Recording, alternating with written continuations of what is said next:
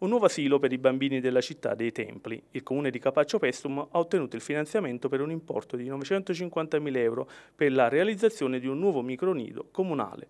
L'opera, che sarà edificata a Capaccio Scalo, è stata ammessa a finanziamento di 950.000 euro nell'ambito del POR Campania FESR 2014-2020, ottenendo il primo posto in graduatoria.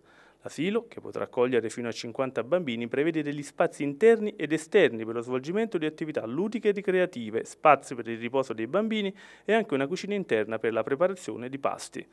L'allestimento dei giardini e del piazzale prevede un'area di gioco con tanti giochi.